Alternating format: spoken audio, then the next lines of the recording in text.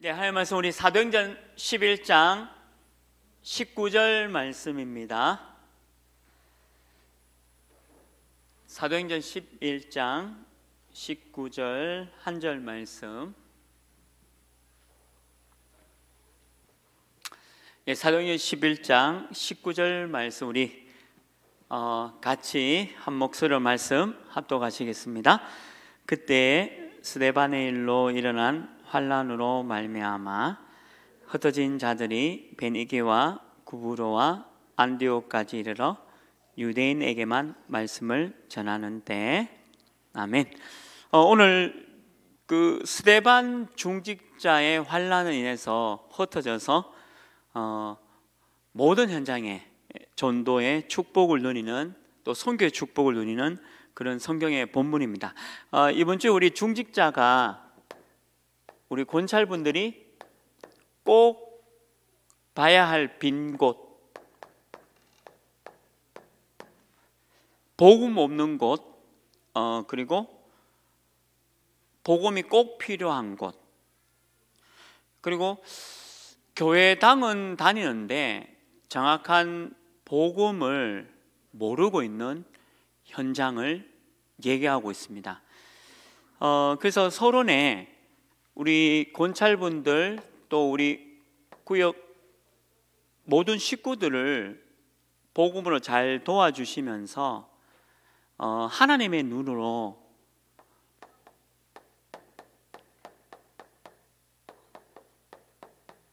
정확한 복음을 전할 수 있는 복음이 치유가 되어지고 또 복음이 오늘 우리 강단 말씀대로 즐거움이 되어져야 되거든요. 그래서 예수 그리스도가 이 복음이 각인 뿌리 체질되어지도록 우리 구역 식구들 도와줘야 되고요. 또 복음을 모르는 어, 하나님을 모르는 사람들에게는 정확한 복음을 어, 우리가 알려주고 전달해 줘야 된다는 겁니다. 아마 우리 구역에는 어, 저는 저도 지난 주에 우리 구역에 그 청년 한 분을 만나달라 해서 이제 가서 청년을 만났어요. 어, 그래서 복음도 좀 나누고 그 동안에 살아온 얘기도 좀 듣고 어, 참 좋더라고요. 그래서 구역에 보면 아마 남편도 있고요. 안 믿는 남편이겠죠. 그리고 아내도 있고 또 자녀도 있겠죠. 그러면 이제 우리가 구역 안에 남편과 아내와 안 믿는 자녀들을 복음을 전해야 되겠고 또 이분들에게 복음이 전달될 수 있도록 우리가 사역을 해야 됩니다. 그 뭐 제가 갑자기 좀 기억나는 또 한분그 남편 분 계시는데 이제 가보니까 어 이제 복음을 듣기 싫으니까 이제 방 안에서 어 그 왜 왔냐고 하고 그래요. 그래서 이제 또 지나가는 길에 또 한 번 가니까 그때는 욕을 하더라고 욕을. 그리고 이제 세 번째 가니까 진짜. 근데 그분이 예수님 이제 그 시간표가 왔는지 그분이 이제 예수님을 이제 영접하고 부인 따라 교회도 오게 됐거든요. 근데 그 그런 그 우리가 그 남편, 아내, 자녀를 포기하지 말고 어 계속 말씀 붙잡고 기도하고 계속 도전하시고 찾아가셔서 어쨌든 복음을 설명해 줘야 됩니다. 그러니까 저도 이제 구역에 제가 맡은 구역이 또 있으니까 또 교구가 있으니까 어쨌든지 어, 복음 받을 사람이 있으면 찾아가고 또 만나고 그 그게 이제 우리 사역이니까요. 그 우리에게는 구역이라는 너무 전도 현장이 있으니까 절대 어, 놓치지 말고 어, 남편, 아내, 자녀에게 진짜 복음이 전거될 수 있도록 가장 우선적으로 해야 될 사역입니다. 어, 그리고 부서도 있죠. 우리 교육부서 어, 물론 이제 교육부서 보면 랩런트들이 있고요. 어, 그리고 이 랩런트들의 친구가 있잖아요.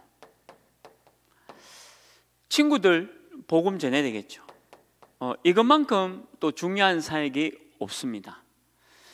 어, 학교 앞에서 학교 안에 들어가지 못하니까 차에서 이제 맛있는 어, 그 좀 준비해 놓고 어, 우리 랩런트 이제 제 차에 들어오게 해서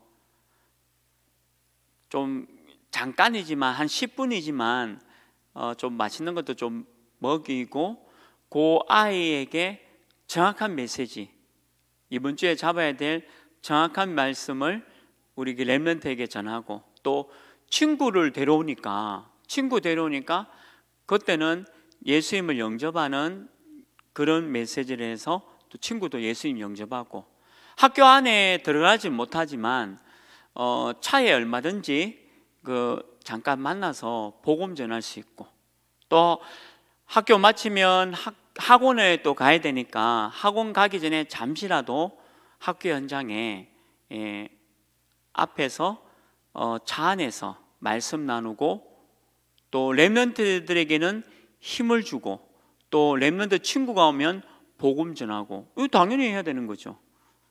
그 하나님께서 하나님의 눈이 복음 전하는 스테반에게 있잖아요. 그러니까 얼마든지 학교 사역도 어, 이렇게 하면서 너무 재미있고 어, 좋죠. 그 내가 맡고 있는 교육부서에 아이들 만나서 복음 전해서 힘주고 또 불신자 친구는 또 예수님을 만날 수 있는 길을 제시해서 뭐 이건 얼마든지 우리가 어 진짜 즐거운 사역이고 꼭 해야 될 사역이지 않습니까? 또 여러분들이 그 랩런트 사역이 쉬운 게 아이들 조금만 말씀 도와주면 자기들끼리 또 전도도 하고 친구도 데려오고 합니다. 그래서 얼마든지 이 부서 또 교육부서에 우리 랩런트들 또 친구들 사역이 또 가능하죠. 어, 그리고 우리는 또 지역이 있잖아요. 어, 이 지역이 현장을 자세히 쳐다보면 어, 황금 어장이 분명히 있을 겁니다. 아, 너무 많은 사람들의 빈 곳 있는 황금 어장이 어, 있고요. 그리고 사각지대 좀 비워져 있는 사각지대도 있고 그다음 재앙지대 그러니까 이런 부분들을 두고 이게 빈 곳이잖아요. 네, 이빈 곳에 하나님이 너무 필요로 하는 시스템을 세우는 겁니다. 하나님이 너무 필요로 하는 시스템을 황금어장이나 사각지대나 재앙지대 세우는 거죠. 이게 다락방이고 지교입니다. 그 하나님의 눈이 어디에 관심 있겠냐? 복음 전하는 전도자와 또 복음 받을 우리 구역 안에 남편, 아내, 자녀들 여기에 관심 있는 거죠. 우리가 복음 전해야 되니까. 그 이렇게 또 이렇게 갑자기 또 생각나는 분인데 어 그 우리 렘넌트의 어머님을 만났는데 어, 렘넌트 어머님을 만나서 복음을 쭉 설명하는데 그 어머님이 또 예수님 영접하고 또 교회도 오시고 또 그런 네, 중요한 응답도 우리 구역 안에서 누르고요. 또 여러분도 이제 그런 응답들을 누려가야 되겠죠. 아마 우리가 하나님의 눈으로 보면 전부 복음 받을 사람이고 복음 전할 사람입니다. 이게 이제 우리 중직자 권찰분들이 해야 될 사역이죠. 비어 있는 곳이 있다는 거죠. 복음의 눈으로 보면 많이 그런 눈들이 보입니다. 복음 받을 사람 보이죠. 그리고 뭐 남편 만나러 가는데 쉽겠습니까? 남편들 얼마나 뭐, 뭐 싫어하는지 몰라요. 막. 근데 그 그래도 그 현장에 가서 어 허감 끊는 기도하고만 돌아와도 얼마나 좋은 현장입니까? 그이 일을 감당하는 권찰 되시길 주님의 이름으로 축원합니다. 그 남편도 있죠, 아내도 있죠, 자녀들 있죠. 복음 안 받은 얼마나 많은 사람이 있겠습니까? 이 사람들을 찾아서 어, 우리가 어, 복음을 전하는 그 중요한 사명과 미션을 감당하자는 거죠. 그래서 그 빈 곳이 세 가지가 있습니다. 그 첫 번째 어, 빈 곳이 우리 237의 빈 곳이 있겠죠. 어, 우리 교회에 와 있는 다민족 그리고 제3 문화권의 아이들 제3 문화권의 아이들 그리고 우리 교회에 와 있는 앞으로 미래 지도자가 될 차세대 237 다민족 TCK 차세대 굉장한 응답을 우리가 지금 받고 있습니다. 그래서 말씀에 보면 사도행전 2장 9절에서 11절에 보면 15나라가 와 있다 했잖아요. 분명히 15나라에 세계보고마 할수 있는 어, 다민족들이 있다는 겁니다. 굉장한 거죠. 15나라에 분명한 세계보고마 할수 있는 제자들이 숨겨져 있습니다. 찾는 거죠. 그이 제자의 축복을 우리가 찾고 누려야 되겠죠.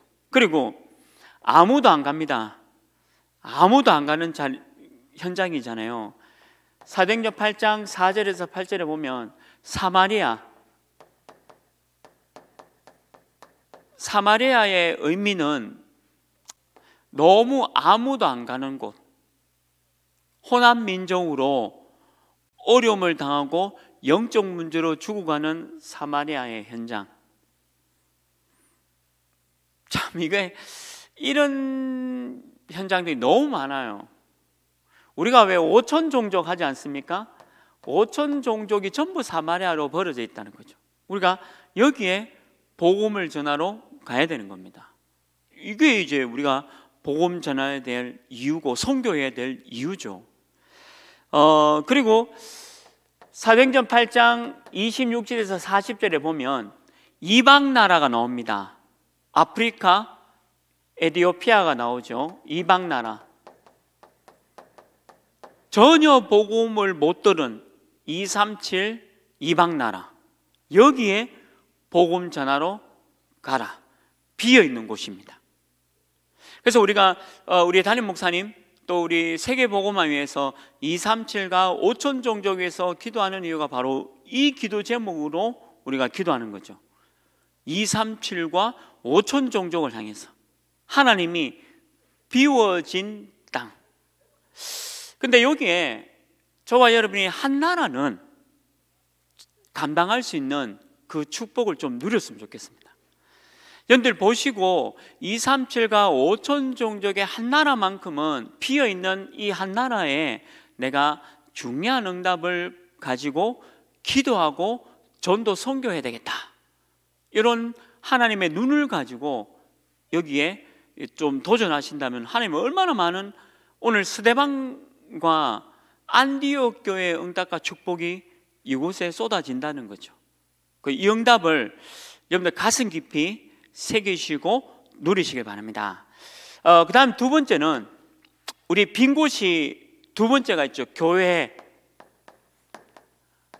우리 하나교회도 빈 곳으로 남아 있습니다. 어, 사도행전 2장 43절 45절에 있듯이 어, 너무 힘든 어려움을 당하는 특히 경제에 어려움을 당하는 성도님들도 계세요. 오늘 우리 담임 목사님 그 강단 메시지에도 주셨지 않습니까? 육신적인 거 또 가난한 경제에 대한 부분에 묶일 수가 있어요. 근데 그게 아니거든요. 결국 복음입니다. 복음. 하나님의 말씀과 복음으로 가난하다 또 경제가 너무 어렵다 그것도 이길 수 있도록 그리고 복음이 필요한 거죠. 하나님의 눈은 결국 복음입니다. 내가 그냥 가난하고 경제가 없다 이거는 속는 겁니다. 그거는 일반 불신자도 그러고 있고 다른 종교를 갖고 있는 사람도 똑같이 어려움을 당하잖아요. 근데 우리는 복음이 있으니까. 그러니까 우리 교회 안에 어려움, 특히 경제로 경제로 어려운 이분에게도 복음만 전해야 돼요. 복음이 이 어려운 경제를 이길 수 있도록 도와주시고 또 복음이 있으면서 복음 들으면서 이 어려움을 이길 수 있도록 그 교회 안에도 빈 곳이 있, 있지 않습니까? 이런 사람들을 찾아서 도와주라는 거죠. 사도행전 3장 1절에서 12절에 있는 대로 나면서 안전뱅이 된 나면서 얼마나 육신적으로 어려운 질병 가운데 있는 분들도 많죠. 예수님께서도 이 땅에 오신 이유가 건강한 사람을 찾으러 온 것이 아니라 병자를 찾으러 왔다라고 하고 그리고 건강한 사람에게는 의원이 필요 없다라고 얘기하셨어요. 그러니까 교회에 질병 가진 사람도 올 수 있죠. 그래서 복음이 필요한 겁니다. 질병이 낫는다, 치유된다 이런 말이 아니라 이렇게 영적 문제, 질병 문제로 너무나도 힘든 이 사람에게 하나님의 복음이 증거될 수 있도록 하나님의 말씀으로 이분이 그 질병을 시공간 초월하는 능력으로 이길 수 있도록 도와주시는 거죠. 그리고 하나님이 원하신다면 정인으로 세우기 위해서 이 질병도 치유될 수가 있습니다. 나면서 안전뱅이 된 자가 치유받고 난 뒤에 기쁘고 감사하고 육신적인 내용을 성경에 기록되지 않았어요. 자기가 하나님의 안전뱅이에서 나은 것을 하나님을 찬양하고 증거하고 정인으로 섰다 성경에 기록되어 있거든요. 바로 그거죠. 나면서 안전뱅이 되어서 질병 가운데 있는 이 사람이 하나님의 은혜로 치유되어져서 간정하고 하나님의 살아계심의 정인으로 섰다는 거죠. 육신적인 부분을 얘기한 적이 없습니다. 하나님을 찬양하고 증거하고 복음을 전하는 일에 이 사람이 쓰임 받았잖아요. 이게 옳은 쓰임이죠. 교회 안에 이런 빈 곳이 있다는 겁니다. 너무 많은 사람들이 질병이 너무 오랫동안 되다 보면 정신과 마음에 타격이 오거든요. 그러면 어디까지 오냐면 구원의 확신, 구원까지도 흔들려 버려요. 그래서 이 질병을 잘 이해하셔서 복음으로 영적인 힘을 얻도록 도와주셔야 돼요. 육신적인 부분을 자꾸 초점 돋아 보면 실수합니다. 반드시 실수합니다. 그 사람이 성공하고 나와도 틀린 것이고 안 나와도 틀린 것이에요. 오늘 강단에도 하나님의 뜻이라 했습니다. 실패는 하나님의 뜻이고 성공은 하나님의 계획이라 했습니다. 실패도 하나님이 틀리게 그, 그 응답으로 안 주신 하나님의 계획과 뜻이 있어요. 그걸 찾도록 교회 안에 교회 안에 너무 많은 사람들이 잘못 이해하고 있는 부분이니까 도와주셔야 돼요. 그 교회 안에 빈 곳입니다. 어, 그 다음에 세 번째 교회 안에 빈 곳이 사도행전 13장 5절에서 12절 또 16장 16절에서 18절 19장 8절에서 20절에 있는 대로 교회 안에 교회 안에도요 어떤 면에서는 이런 영적인 부분에 시달리고 있는 분들이 많아요. 점술에 미신에 우상에 빠져 있는 사람들이 많죠. 그래서 육신적인 부분을 보면 어, 전부 다 우상에 빠지는 부분입니다. 100% 육신적으로 보면 전부 다 우상에 빠지는 거죠. 오늘 주보 안에 속지도 보면 결국 육신 충만의 기도가 있고 성령 충만의 기도가 있어요. 근데 교회 안에 대부분 사람들은 육신 충만 기도를 해요. 근데 그게 기도가 잘못 배워서 그런 겁니다. 그래서 기도 치유는 기도 제목을 올바르게 잡는 게 기도 치유입니다. 대부분 교회 안에서 기도를 어떻게 배웠냐면 아무거나 기도해라 해요. 예수님이 말씀하신 아무거나는 그게 아니고 성령 충만을 위한 아무거나 기도인데 대부분 기도를 어떻게 배웠냐면 육신 충만을 위한 기도를 하라고 가르치고 잘못 배운 겁니다. 그래서 기도가 교회 안에도 기도가 치유가 되어야 되죠. 옳은 기도 해야 되고 올바른 기도 해야 되고 바른 기도를 가르쳐야 됩니다. 그 교회 안에 빈 곳이 너무 많아요. 거의 대부분 어, 사람들이 교회 안에 빈 곳으로 남아 있습니다. 그래서 바르게 가르쳐 주라. 오늘 우리 그 신명기 8장 11절 20절 메시지도 하나님의 말씀과 하나님 속에 있으면 그 자체가 행복과 즐거움과 축복인데 대부분 육신입니다. 대부분 육신이 기준이 돼요. 그래서 문제가 오는 거예요. 육신이 좋으면 좋은 거고 육신이 나쁘면 안 좋은 거다라는 털린 생각이 교회 안에 빈 곳으로 잡고 있습니다. 그거를 바르게 가르쳐 주셔야 됩니다. 지금부터 바르게 가르쳐 주셔야 돼요. 우리 교회도요, 너무 육신이 기준이 되는 거 많거든요. 그래서 여러분들이 각 구역 식구들 한데 가서 너희가 내 이름으로 무엇이든지 기도하라. 그러면 이루리라. 그 무엇이든지 말하라는 것은 성령 충만을 향한 기도 제목을 말하라는 것입니다. 육신 채우기 위한 기도가 아니에요.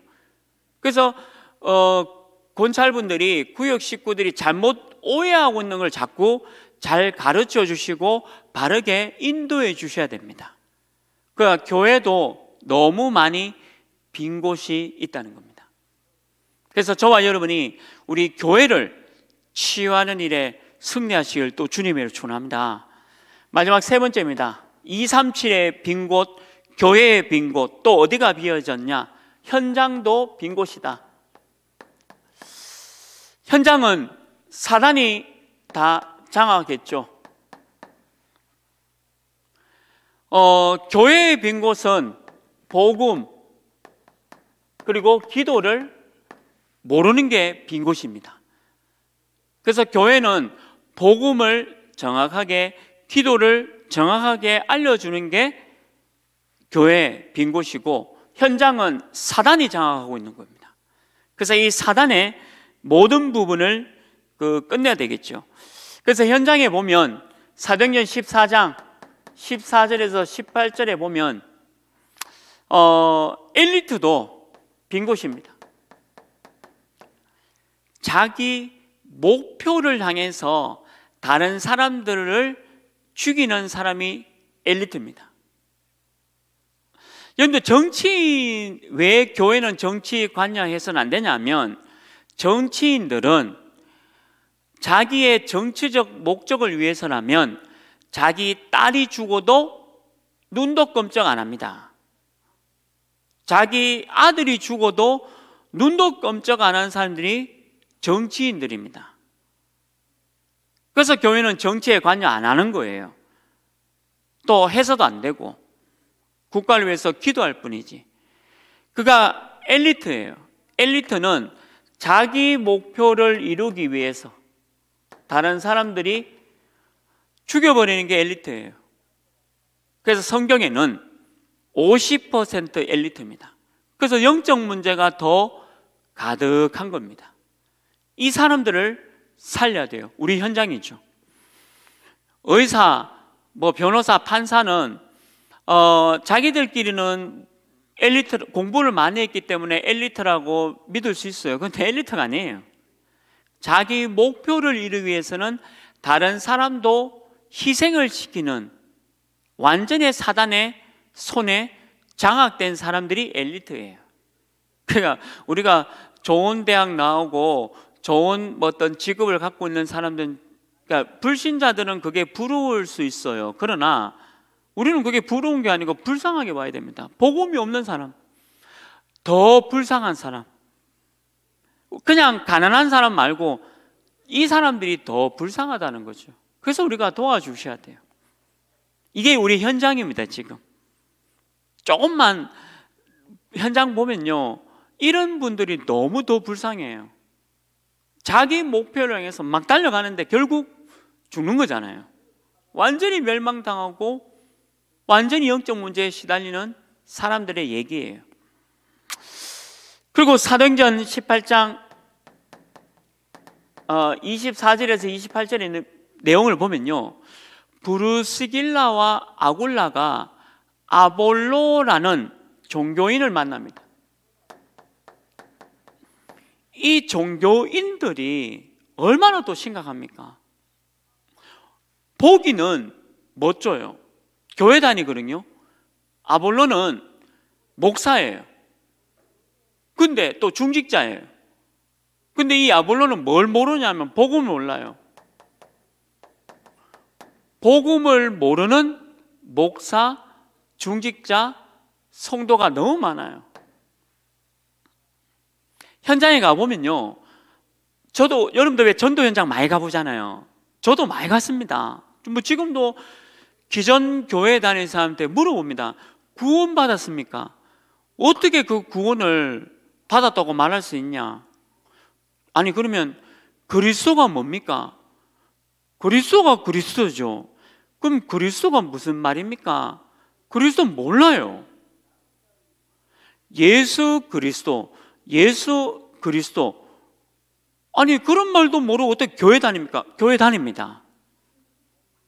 너무 많은 종교인들, 복음을 전혀 모르는 목사, 장로, 안수집사, 안수권사, 우리 경상도 말로 그, 뭐, 삐까리? 뭐, 뭐지, 같은. 하여튼 뭐, 삐까리 같은. 예. 새 삐까리 같은. 진짜 너무 불쌍해요. 근데 이런 우리 현장 어, 제가 제가 만나본 기독교인들 100%였어요. 근데 저는 저도 사실은 그 태아 때부터 교회 다녔는데 제가 정확하게 예수 그리스도를 안 나이가 제가 20살 때였습니다. 그동안에 학생회 교회 다녔고요. 뭐 중, 뭐 초등부, 중등부, 고등부 다 다녔거든요. 근데 그리스도를 한 번도 못 들었습니다. 저도. 당연히 그리스도를 못 들었기 때문에 근데 그리스도를 얘기를 했겠죠. 교육자가. 근데 본인도 모르는 그리스도를 전가했는데 듣는 제가 어떻게 그리스도를 알겠습니까? 그이 종교인들이 현장에 너무 많아요. 그 우리가 어 이거를 도와주셔야 돼요. 우리 현장. 그래서 여러분들 되도록이면 기존 성도님들도 복음 제대로 알려주셔야 돼요. 신앙생활 하도록. 안 그러면 신천지 갑니다. 그리고 하나님의 교회 가요. 제가 어제 어느 전도 대상자를, 아, 금요일이죠. 금요일 날 전도 대상자를 만났는데 이분이 우리 교회 분이 와서 말씀 전한다. 근데 우리 교회 분 중에 말씀 전한 분이 없는데 그러니까 여 하나님의 교회에서 와가지고 말씀 전한 거예요. 그 하나님의 교회가 뭡니까? 안산홍 씨가 하나님인데 죽었잖아요. 하나님이 죽어버렸어요. 근데 그 부인이 지금 어머니가 돼 있어요. 하나님 어머니. 그거는 이단도 아니고 사이비 아닙니까? 이단은 그래도 좀 비스무리하면 괜찮지. 그리고 신천지 같은 경우는 그 이만희 씨가 그건데 성령이고 그리스도인데. 그래, 모르니까, 종교인들이 모르니까, 거기 막 찾아가는 거예요. 우리 그 상인역에 보면 또 신천지가 활동합니다. 노트 들고 젊은 아이들 둘이 전도한다고. 상인역 지하, 그 지하철에서. 불쌍한 거죠. 모르니까. 기존에 교회 다니는 아이들이 그리스도를 못 들었으니까. 그리스도를 못 듣고 복음이 뭔지를 모르니까 그냥 털린 엉터리 여기에 다 속아 넘어가는 거예요, 이렇게. 미 현장 얘기예요, 현장 얘기. 그리고 사도행전 17장 1절 18장 4절, 19장 8절 누구 얘기입니까? 우리 청소년. 청소년 다 비어 있잖아요. 그 우리 교회는 청소년을 위한 시스템 너무 필요합니다. 청소년 다 죽어가잖아요. 살려야 될 거 아닙니까? 이 청소년 그거 우리 하나알루티시도 청소년을 위한 문화 기도하고 살려야 되는 거예요. 이게 우리 현장 얘기예요. 비어 있잖아요. 다 비어 있잖아요.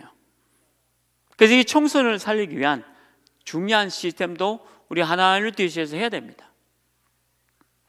자, 그래서 이걸 위한 이 빈 곳을 살리기 위한 하나님의 절대 방법이 있다는 거죠. 이 빈 곳을 살리기 위해서 첫 번째는 우리가 여섯 가지 도구가 있다. 이 도구란 말은 어떤 것을 이루기 위한 부분이잖아요. 기술적인 부분입니다. 그래서 이 여섯 가지 도구가 이 빈 곳을 살리도록 쓰임을 받아야 돼요. 여섯 가지 이 도구가 빈 곳을 살릴 수 있도록. 그리고 두 번째는 뭐냐? 이 빈 곳을 살리기 위해서 미디어도 활용해라. 이제 미디어가 이 전도, 선교하는 일에 너무 중요합니다. 이 미디어를 가지고 중요한 전도, 선교를 할 수 있도록 여러분들이 진짜 이 미디어 가지고 전도할 수 있도록 만들어야 돼요.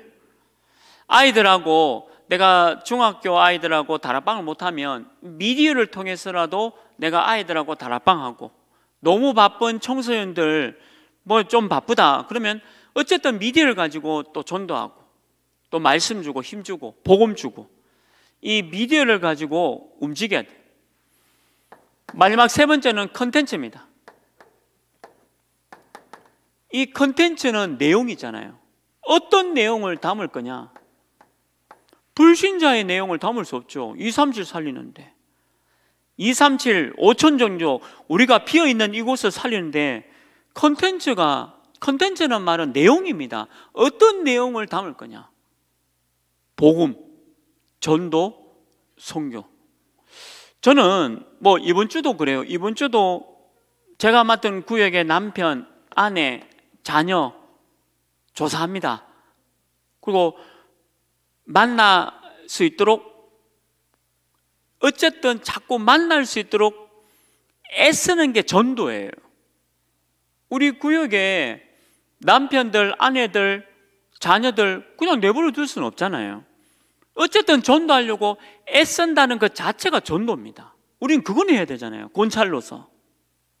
그리고 내가 맡아 있는 부서, 교육부서, 내가 있는 랩런트를 살리고 친구들 전도하고 그리고 좀 맛있는 걸 갖고 가서 내가 학교 앞에서 아이들 10분이지만 잠깐 쉬는 시간에 오라 해서 말씀으로 힘주고 또 친구들 오면 그 내 차에 안에서 복음 전하고 영접하고 그거 왜 합니까? 그 귀찮은 거 또 거기에 대해서 마음이 없다. 전, 전도 성교 아무 마음이 없는 거죠. 내가 맡은 부서 당연히 전도돼야 되지 않습니까? 내가 맡아 있는 구역 당연히 남편, 아내, 자녀들 위해서 전도해야 되잖아요. 이게 우리 교회 이유 목적이에요. 우리 다락방의 목적이고 우리가 훈련받은 이유지 않습니까? 그리고 지역은요. 너무 황금어장, 사각지대, 재앙지대인데 버려두어 있잖아요. 그 이걸 두고 기도해라. 제가 지금 예비지교회 한 군데 하고 있는데 어, 예비 지교회 할 수 있는 제자들 제자 두 명 있어요. 두 명하고 저하고 예비 지교회를 하는 게 우리 교회 이제 실버 양로원 그러니까 복음 가진 양로원을 두고 그냥 기도하고 있습니다. 계속 기도로 말씀 듣고 왜 어, 할아버지 할머니들 이 갈 데가 없으니까 그러니까 할아버지 할머니들을 위한 전도 너무 황금어장이고 마지막 할아버지 할머니들이 마지막으로 복음 받을 수 있는 시스템 꼭 우리 하나 요양병원이잖아요 또 하나 요양원이잖아요. 그래서 제자 두 명하고 저하고 기도 시작하겠어요. 정확하게. 그래서 진짜 그분들 마지막 가시는 길에 천국이냐 지옥이냐 그거잖아요. 그러면 천국과 지옥의 마지막 시스템을 세워서 이 재앙 시대를 막아가야겠다. 그 요게 지역 지교회 예비 지교회로 지금 기도하고 있고 지금 매일 메시지 소통 포럼하고 있습니다. 그 여러분도 하셔야 됩니다. 그래서 여러분들이 여러분들 통해서 현장에 빈 곳 있죠? 이 빈 곳을 복음 없는 모든 곳은 다 빈 곳입니다. 237 교회 현장. 여러분들 구역 식구들 모든 빈 곳을 채워 나가시길 주님으로 축원합니다. 하나님 감사합니다. 여호와를 영원히 잊지 아니하는 권찰로서 우리 권찰로서 모든 빈 곳을 살려 나갈 수 있는 응답과 축복 허락해 주옵소서. 우리 인생의 모든 문제 해결하신 예수 그리스도의 은혜와 하나님의 크신 사랑하심과 성령 하나님의 내주 인도 역사 교통하심이 영원히 여호와를 잊지 아니하며 모든 구역 식구들의 남편, 아내, 자녀들을 살려나갈 권찰들 머리 위에 지금부터 영원토록 항상 함께 있을지어다. 아멘.